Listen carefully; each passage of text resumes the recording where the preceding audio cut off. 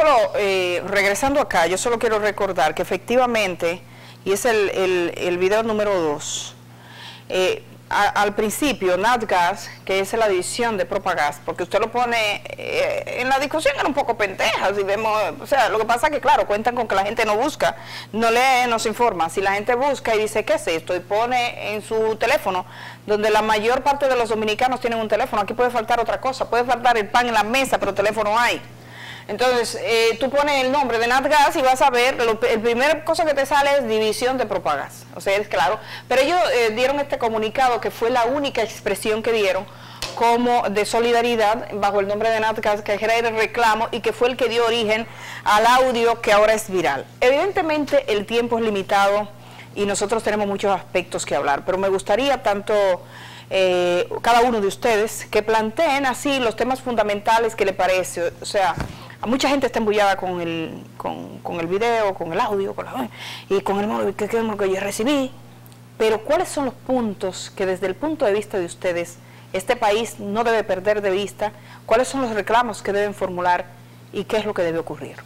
Sí, con relación al video, a los trabajadores le importa poco cuál de los dos tenga razón, que sea NatGat o propaganda. Ya he dicho que existe la solidaridad y cualquiera de los dos tiene que, responder solidariamente. Ahora, hay que dividir la situación de lo que es la ayuda, la compensación económica que establece el Código de Trabajo para los que fallecieron, que le corresponde a los familiares, y lo que es los daños que recibieron los algunos trabajadores que, están hábiles para trabajar con relación a al, incendio, sí, es decir, al, al, acontecimiento, y que la ley plantea que ahí lo ha habido es un accidente de trabajo. Como accidente de trabajo ya no opera la, reparación civil que establece el artículo 1382 del Código de Trabajo, de Código Civil, en el sentido de que todo aquel que ocasiona un daño a otro está obligado de repararlo. La ley laboral basa las relaciones de los de los trabajadores empleados en cuanto a responsabilidad civil a lo que se llama la teoría del riesgo. El hecho de tú establecer una, una empresa eh, plantea la existencia de un riesgo, latente y permanente, que ese riesgo lo cubre el empleador con una póliza contra eh, riesgos laborales. Entonces basta con que los empleadores tengan esa póliza de riesgos laborales para que ellos se liberen de tener que pagarle a los trabajadores los daños que reciban. Tendría que pagar la, la póliza de seguro. De acuerdo al sistema dominicano de seguridad social. Ahora, ¿qué pasa con el futuro de los trabajadores? De los que quedaron vivos. De lo que, y de los lesionados. De lo que, bueno, de, los lesionados se va, a operar la póliza de riesgos laborales. Ahora, esos lesionados o no lesionados que están en actitud de trabajar van a pasar por un periodo de cesación en sus empleos, porque obviamente esa empresa no va a poder eh, operar inmediatamente y va a pasar un periodo de suspensión. El proceso de la suspensión eh, comienza con una autorización que se pide al Departamento de Trabajo para que establezca el plazo que podría ser, que podría ser hasta 90 días. Pero en ese plazo, donde el trabajador no está obligado a trabajar, tiene el gran problema que los trabajadores no reciben salario. Ya, entonces... Si van a pasar sin, recibir, en bicicleta. sin recibir salario, durante, entonces van a seguir siendo trabajadores pero no están obligados a trabajar por impedimentos, pero no van registrados. Entonces, otro problema nefasto para los trabajadores es que si la empresa está asegurada y recibe, eh, recibe una compensación, una indemnización por ese, por ese seguro, ella tiene que utilizar ese dinero para reconstituir la empresa. Y si no puede reconstituir la empresa, tiene que hacer una distribución equitativa entre los trabajadores, que nunca podrá ser una suma mayor a lo que recibiría por concepto de auxilio de cesantía. Mm, bueno, doctor, sí. Aprovechando algo de que precisamente el señor Díaz Cabral era presidente del Consejo Nacional de, Empresa Privada.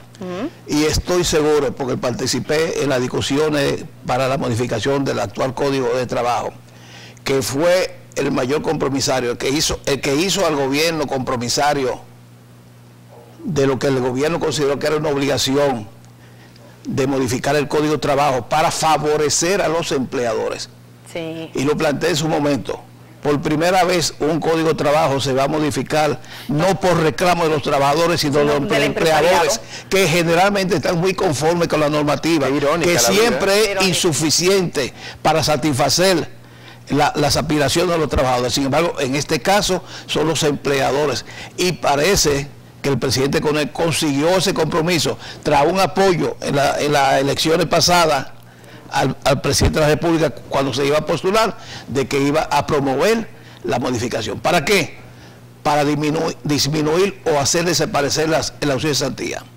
Para disminuir o hacer desaparecer la limitación de la jornada de trabajo y una serie de, beneficios de los trabajadores. Doctor, lamentablemente como tenemos tenemos que seguir rápidamente con Juan Miguel, pero con usted tenemos esa conversación pendiente. Yo quiero sí que sigamos conversando sobre esos temas, porque como ustedes ven, eso no solo toca a los trabajadores de Poliplas, sino a la clase trabajadora en general, e incluso de su capacidad de reaccionar ante eventos de esta naturaleza. Eh, estamos terminando. No, yo sencillamente cuando lo escucho, pienso en Francisco Antonio Santos, por ejemplo, que muy poca gente de hoy lo conoce, un líder sindical y de los trabajadores de todos los tiempos. Y todo su legado de lucha, el neoliberalismo rampante que hoy nos gobierna, en ese contubernio, reitero, entre la clase política y la clase empresarial, lamentablemente está deshaciendo, estamos nos llevándonos nos está llevando a una civilización de sálvese quien pueda, donde evidentemente los débiles como María Garavito son las que van a perder y que son las mayoritarias de este pueblo. Eh, bueno, Juan, eh, eh, Juan, Miguel y Julio Aníbal, gracias por estar esta mañana. Ustedes son gente que dicen la cosa como es. Eh, queremos contar con ustedes para días por futuros, para días por venir, porque este es un proceso que sigue, obviamente, y hay otras lecturas. Y sobre todo, Edith, no distraernos. No se saber, saber diferenciar las estrategias entre los poderosos para entre ellos entrar en pugna ¿no? Para distraer a uno y eclipsar responsabilidades. Básicamente que ese pleito, esa guerra no es de ustedes, no es del pueblo, esa no es su guerra. Identifique su guerra. Gracias a los dos por estar esta mañana muy honrada y gracias a ustedes. Hemos tenido una, una semana formidable, lamentablemente eh, marcada por esta tragedia, pero mirando todo desde distintos puntos de vista. Aquí nos encontramos el próximo lunes.